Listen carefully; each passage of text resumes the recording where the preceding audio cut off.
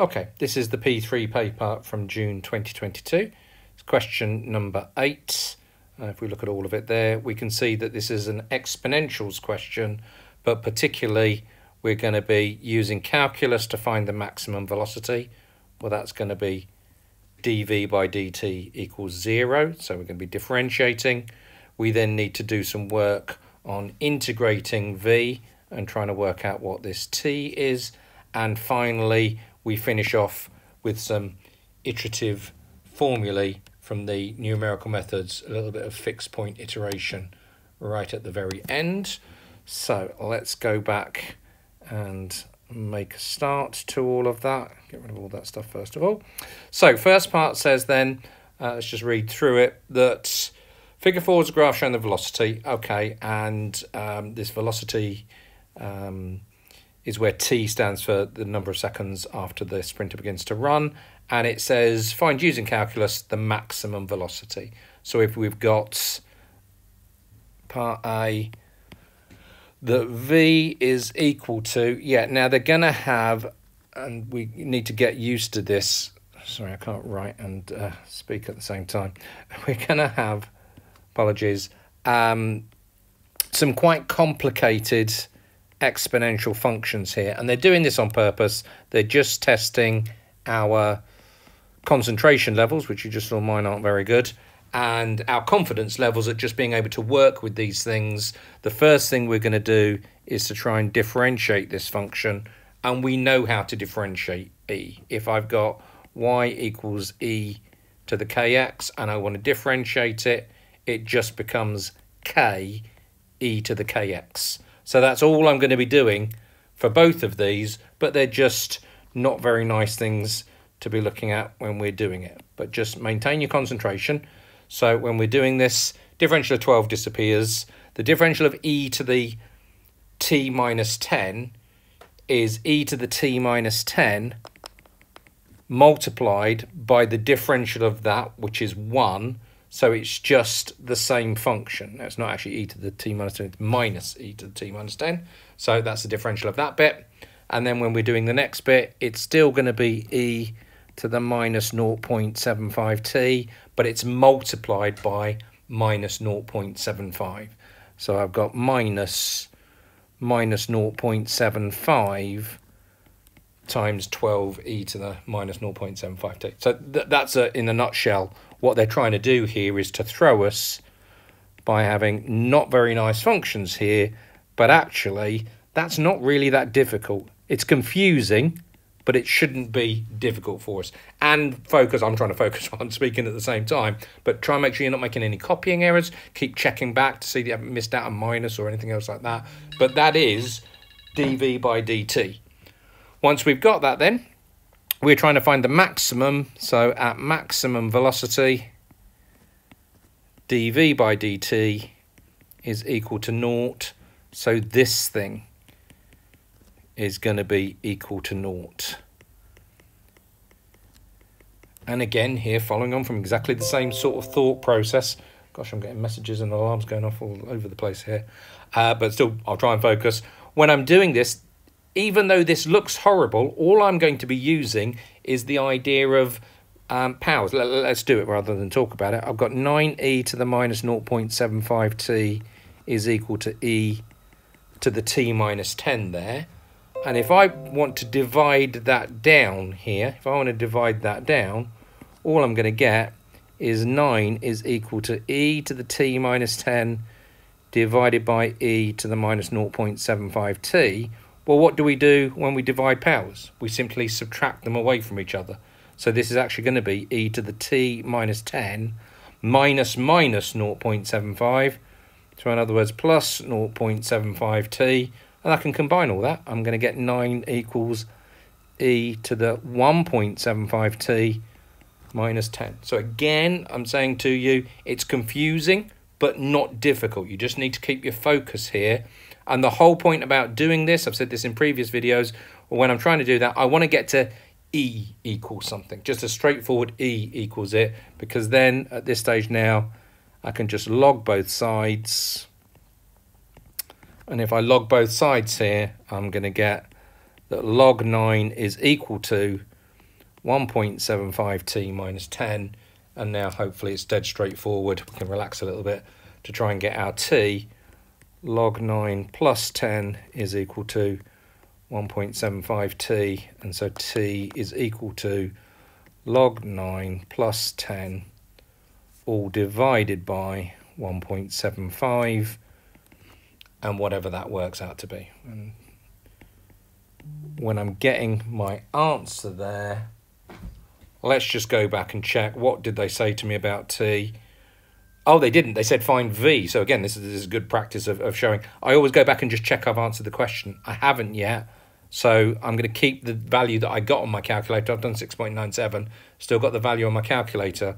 V max, what I'm actually looking for, is putting that into the function now. So it's e, to, again, be careful here. It's 6.97 minus 10 minus 12e to the minus 0.75 times 6.97.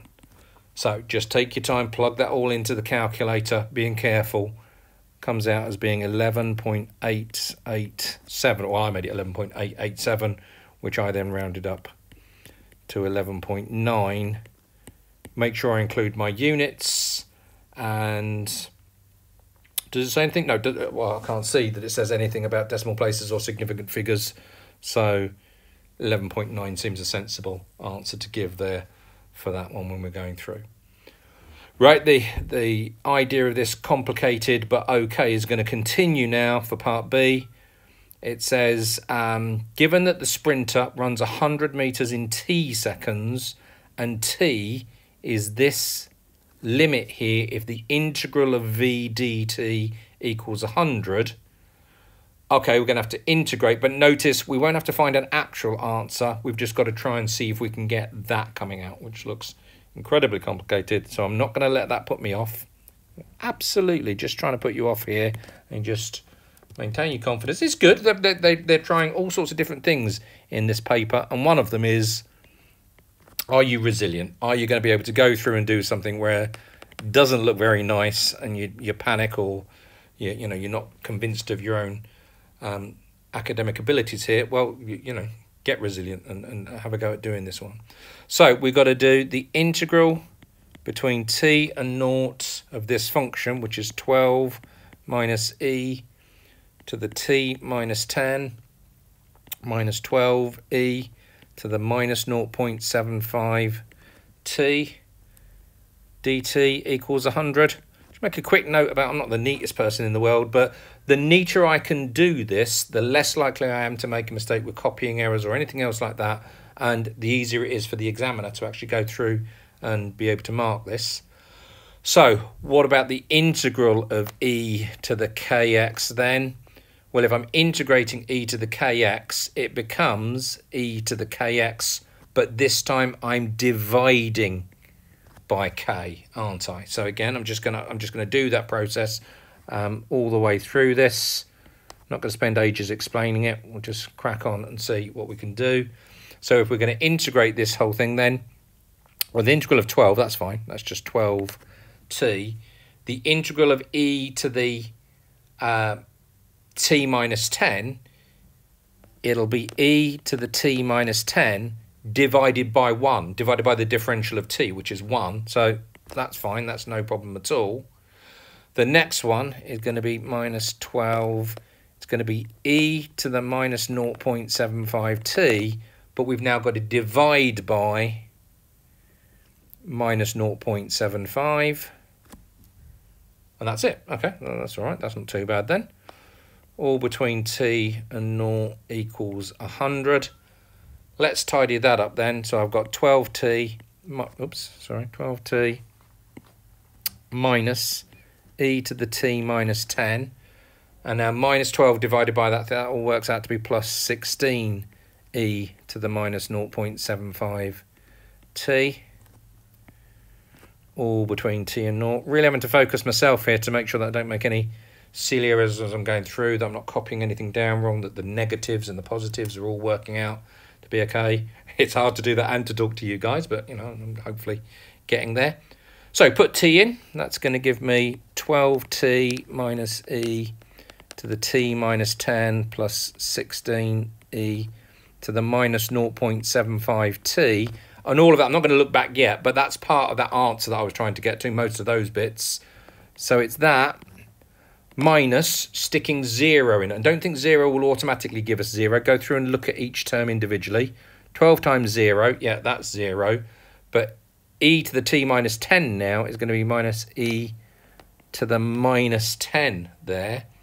And then plus 16 e to the 0. Well, I'm going to write e to the 0, but e to the 0 is 1, isn't it? So we get all of that equals 100. Now, just be careful. Don't be too tempted to um, to jump straight to my answer here. Okay, let's just do what we would normally do. That's 12t minus e to the t minus 10 plus 16e to the minus 0.75t. I haven't done anything to that.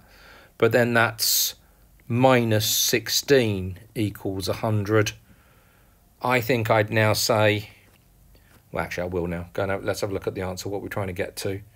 Um, t equals a twelfth of all of that stuff.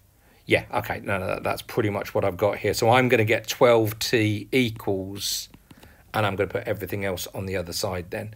So I've got e to the t minus 10 minus 16e to the minus 0.75t and then plus 116. So what I've got to do is to now go and just check that, if I missed one, oh yeah, no I have actually there, sorry, apologies, let me just, that, that's whole point, whole point of checking, um, is that here, I'd missed the e to the minus 10, hadn't I? And that's actually going to be plus e to the minus 10 there. So if I'm doing that bit there, it's going to be so apologies about that. It's hardly surprising. I meant to make as I was going somewhere through that there then. I've got that so far, so e to the t minus 10, the minus 16 there, the minus of the e to the minus 10. So t is going to be a twelfth of all of that. I'm going to leave it like I'll, I'll go and compare them, but I'm, I do not necessarily need to put it in the same order as they've got it. And it looks a bit more authentic, I guess, to the examiner that I have actually painfully gone through and done all that. Now, I don't think I have actually made a mistake here, but if I had done, well, sort of, I, I guess there, that I, I um, if I'm being perfectly honest, I missed that bit out just a minute ago, hadn't I? So going back and checking, you might then be able to say, oh, right, Quacky, it's just that, that little bit that I've missed there, and you can go back and put that in, and remarkably, that actually is the answer that they're trying to get. Okay, let's keep going.